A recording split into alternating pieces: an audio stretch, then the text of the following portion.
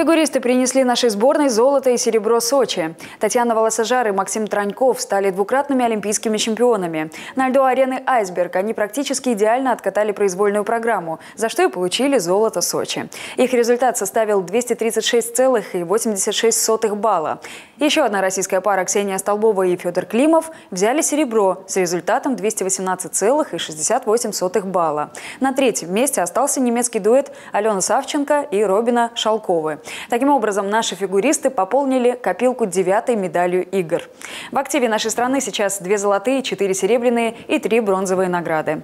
Звания заслуженных мастеров спорта присвоены 10 чемпионам и призерам Олимпийских игр в Сочи. Среди них конькобежка Ольга Граф, биатлонистка Ольга Вилухина, фристайлист Александр Смышляев, а также фигуристы Екатерина Боброва, Елена Ильиных, Никита Коцалапов, Федор Климов, Юлия Лепницкая, Дмитрий Соловьев и Ксения Столбова. А вот бронзовому призеру Олимпиады в Сочи по шорт-треку Виктору Анну прочат карьеру тренера российской сборной. Такое предложение высказал президент Союза конькобежцев России Алексей Кравцов. Впрочем, до тренерской работы Анну еще далеко. Спортсмен намерен продолжить выступление как минимум до чемпионата мира 2015 года.